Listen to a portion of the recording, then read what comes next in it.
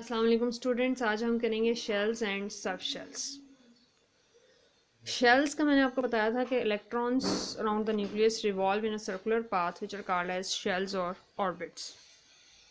For example मैंने आपको बताया था कि अगर we have different shells around the nucleus तो अगर n is equals to one हो तो फ़र्स्ट शेल का नाम होता है it is called as K shell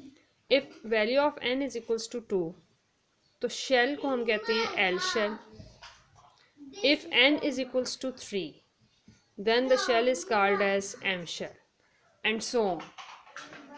shells are those for example this is the nucleus and electrons revolve around the nucleus in a circular path which are called as shells और orbit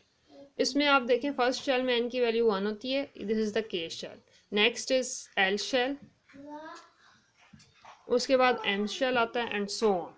ये मैं आपको पहले बता चुकी हूँ। सो shells जो होते हैं these are the main orbits next आ जाता है हमारे पास subshells each shell is divided each shell is divided into different subshells for example shell और एनर्जी लेवल इज़ सब डिवाइडेड इंटू सब subshells sub energy levels for example subshells हमारे पास होते हैं s p d and f subshells for example अगर N की value one हो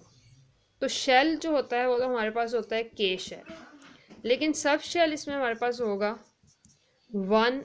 एस ये आपको डिटेल में जाके आगे पता चलेगा जब मैं आपको ऑफ़ ब प्रिंसिपल करवाऊँगी. सिमिलरली अगर एन की वैल्यू टू हो तो शेल एल होता है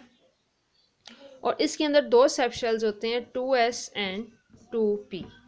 similarly जब एन की वैल्यू थ्री हो तो शेल एम होता है, जबकि इसके अंदर जो सब शेल्स होते हैं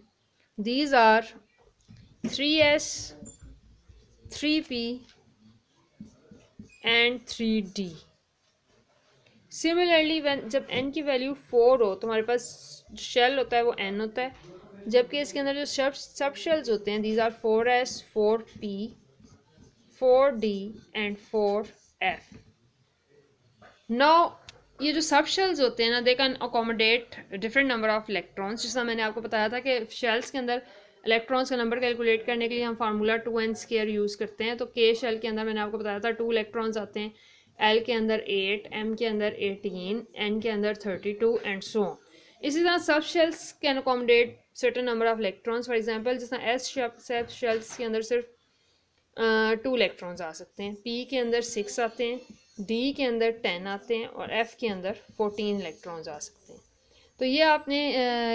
how many electrons each subshells can accommodate ये आपको याद होना चाहिए, क्योंकि इससे हम नेक्स्ट टॉपिक है हमारा electronic configuration which is very very important अगर आपको ये याद होगा, तब हम इलेक्ट्रॉनिक कन्फिग्रेशन लिख सकते हैं।